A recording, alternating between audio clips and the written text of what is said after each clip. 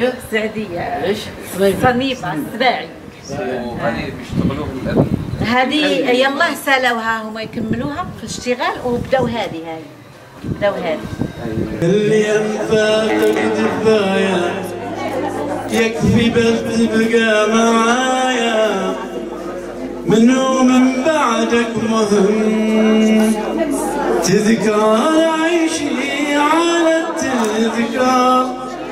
وإن كان يحضرك تنتهينا تذكارنا هي انتهت الأخبار اللي على الجنتين يا شبابي سيرة ايامي شبابي.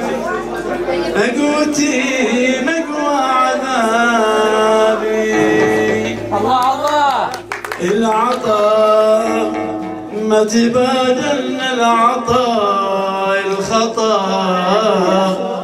الحشا مخطي عليه السلام عليكم. آه، السعدية صنيبة رئيسة الجمعية الخيرية الإسلامية لرعاية المسنين والتكافل الاجتماعي بسيدي علال البحراوي المسيرة للمركز الاجتماعي للأشخاص المسنين.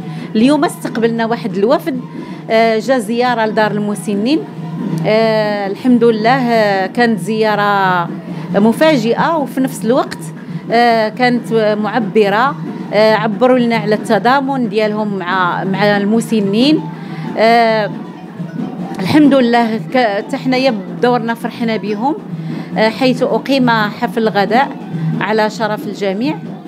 آه، آه نعم قاموا بزيارة للمركز وشافوا المسنين و... وتضامنوا معاهم وفرحوا بهم. وعطاونا واحد الأمل بأنه غادي غادي تكون مساعدات من هنا لقدام لهاد الدار المسنين. وهذا هو ما نطمحوه لأن صراحة دار المسنين راه خاصها الدعم. آه، الدعم من من أي من أي جهة. لأن المسنين آه، يعني ما ماشي ناس منتجين يعني ناس كياكلوا. يا خاصهم مأكل ومشرب وملبس يوميا خاصهم تطبيب يومي. يعني المصاريف ديالهم كثيرة. آه، لهذا آه، صراحة فرحنا بهذه الزيارة وكنتمنى الخير إن شاء الله مستقبلا. كنشكروا الدول العربية اللي جات قامت بزيارة لهذا المركز. آه، منهم دولة قطر البحرين آه، مصر السودان آه، الإمارات العربية وسلطنة عمان وتونس. جزاهم الله كل خير. آه، هاد الناس يعني آه، أبانوا على على ال- ال- العطف ديالهم لهاد المسنين. جي رئيس لجنة التدريب بالمنظمة الدولية للعمل التطوعي ورئيس المنتدى الدولي للتنمية وإدارة الأعمال بالنيابة. آه، كان لدينا يعني استقبال للمؤتمر الدولي العربي. في نسخته الرابعة بتنظيم من المنظمة الدولية للعمل التطوعي وبتنسيق مع المنتدى الدولي للتنمية وإدارة الأعمال بالمغرب.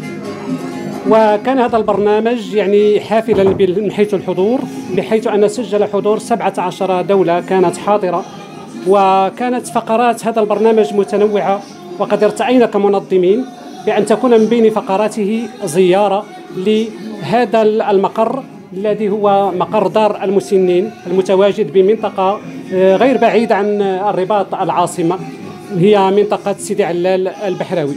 فهذا المؤتمر كان تحت شعار التطوع في خدمة النموذج التنموي آه، الجديد. وهذه الزيارة أثلجت قلوبنا كثيرا حيث أنها أدخلت الفرحة على كل المسنات والمسنين الذين هم متواجدين في هذه الدار التي هي تختلف عن كل الدور التي تتواجد على المستوى الوطني وحتى على المستوى الدولي بشهادة من حضروا آه، معنا بأن هذه الدار متميزة من حيث بنيتها من حيث كذلك طريقة استقبالها له- لرواد هذه آه، الدار.